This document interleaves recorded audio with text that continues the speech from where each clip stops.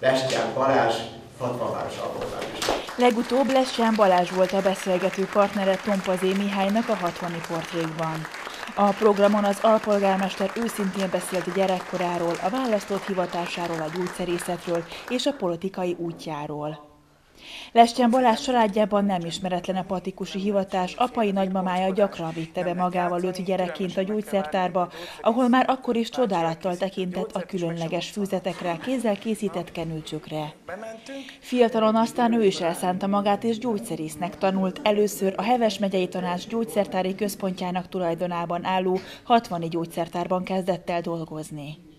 Az alpolgármester elmondta, korábban más jelentett patikusnak lenni, mint manapság.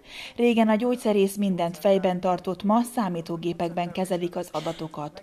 Korábban egy patikában 600 féle termék volt, manapság csak nem 8000 termék is megtalálható a gyógyszertárakban. Az alpolgármestert azonban hajtotta a szakmai alázat és a fejlődésre való állandó igény, így már viszonylag fiatalon a Magyar Gyógyszerészeti Kamara megyei elnöke lett.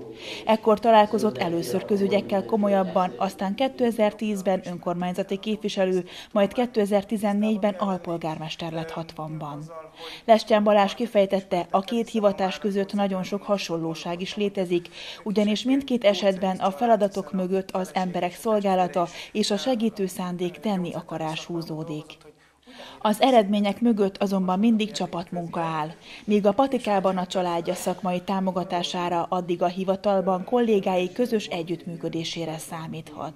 Egymásból építkezünk, egymást csiszoljuk, egymás gondolatait építjük. Ez, ez nem megy máshogy. Én azt gondolom, hogy az építő jellegű vita visz előre bennünket, és hát ehhez egy, ehhez egy jó csapat kell. És a végén pedig egyetértés, hiszen egyetértés nélkül nincsen megfelelő szavazás, és ha nincs megfelelő szavazás, akkor nincs eredmény. Az alpolgármester hozzátette, mint ahogy patikusként is fontos számára a közvetlen kapcsolat az emberekkel, úgy politikusként is arra törekszik, hogy figyeljen a hatvaniak igényeire és hitelesen képviselje a város érdekeit. A programot Lestján Katalin versekkel, míg a polifónia vegyes kar énekekkel színesítették.